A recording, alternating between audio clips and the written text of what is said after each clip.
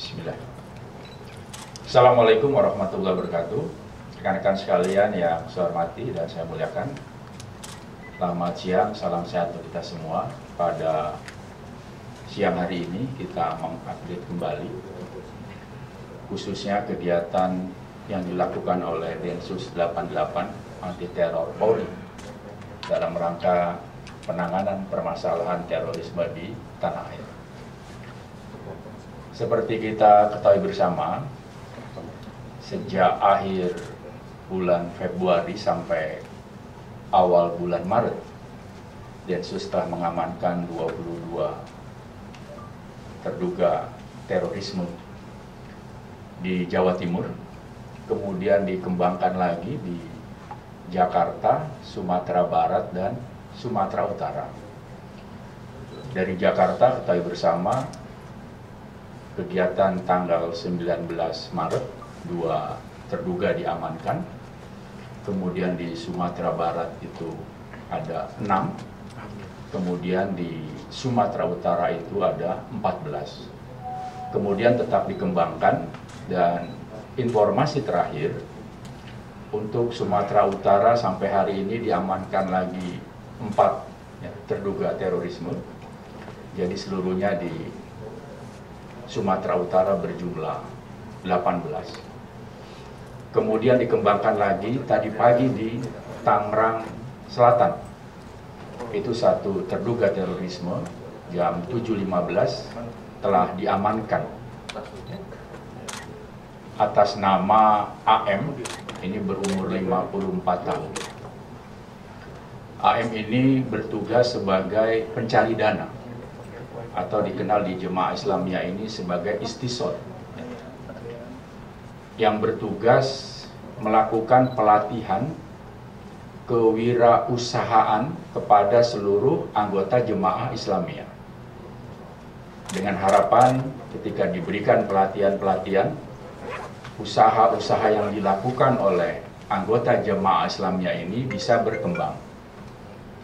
Diharapkan ketika usaha dari para anggota jemaah ini berkembang, tentunya akan memberikan nilai lebih infak yang semakin besar yang masuk di dalam keuangan organisasi jemaah Islamiyah. Dan tentunya ketika keuangan ini semakin besar, ini menjadi bagian bagaimana jemaah Islamiyah bisa menjaga dan juga mempertahankan eksistensi organisasi. Tentunya rekan-rekan Densus 88 anti teror Polri masih bekerja untuk menyelesaikan permasalahan-permasalahan terorisme di tanah air ini.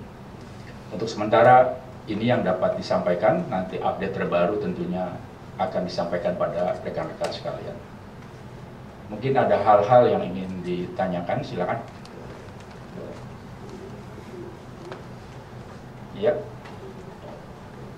Pak terkait eh, penahanan Zain Saidi, Pak, Ya. itu udah ada ini?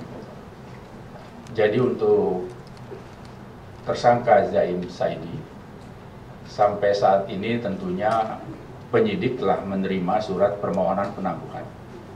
Akan tetapi tentunya penyidik memiliki pertimbangan lain.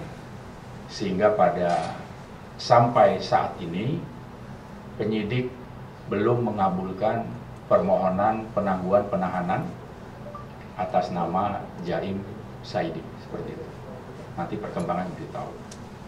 Pak terkait eh, unlawful killing terkait itu Pak kan tiga terlapor ini apakah sudah ditahan?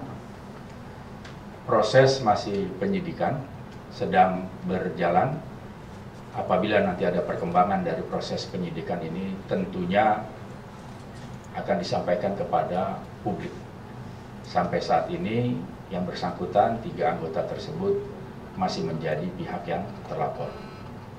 Lanjut. Masih berjalan, ya proses penyelidikan masih ditangani oleh penyidik Baris Krim Polri. Silakan. Untuk kasus pencurian solar di Tuban, Pak. Bagaimana?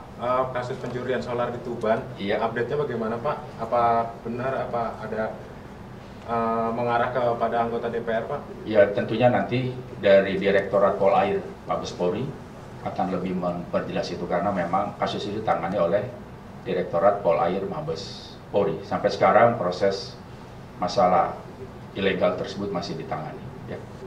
Lanjut. Identitas yang tiga terlapor anggota Polda itu Pak sudah diketahui belum? Sampai sekarang masih di penyidik, nanti kita tanyakan pada penyidik untuk kepastian daripada tiga pelapor itu.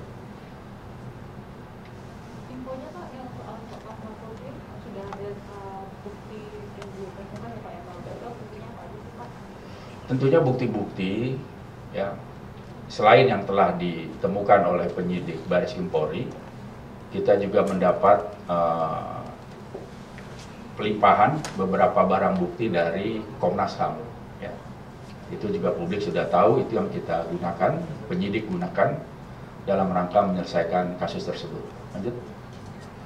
Berarti yang tambahannya Semua itu jaringan jemaah Islamiyah. Betul. Uh, uh, kan sudah disetujui Pak terkait sidang uh, Rizik Sihab Iya. untuk Rizik Sihab diperbolehkan datang secara langsung ke persidangan. Iya. Apakah ada antisipasi dari pihak Polri untuk uh, mengamankan sidang jalan di sidang Pak? Tentunya Polda Metro khususnya telah membuat satu rencana pengamanan, memprediksi segala kemungkinan-kemungkinan akan terjadi, sedang mempersiapkan dan akan mendapat backup dari Mabes Polri seandainya Polda Metro Jaya membutuhkan tambahan kekuatan, Mabes Polri siap untuk membackup. Ya. Yang jelas Polda Metro pasti sedang merencanakan bagaimana kegiatan-kegiatan di Pengadilan Negeri Jakarta Timur dapat berjalan dengan aman. Baik rekan-rekan sekalian,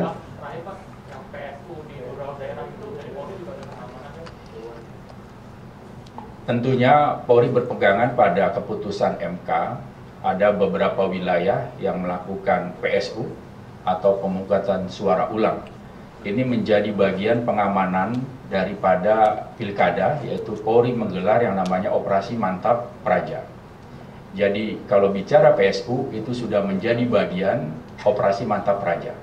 Jadi di mana ada PSU tentunya Polri siap mengamankan bersama dengan instansi yang lain agar kegiatan pemungutan suara ulang dapat berjalan dengan aman, lancar dan damai. Baik, terima kasih rekan-rekan sekalian atas segala perhatiannya. Salam sehat selalu, selamat siang. Wabillahi taufiq wal hidayah. Wassalamualaikum warahmatullahi wabarakatuh.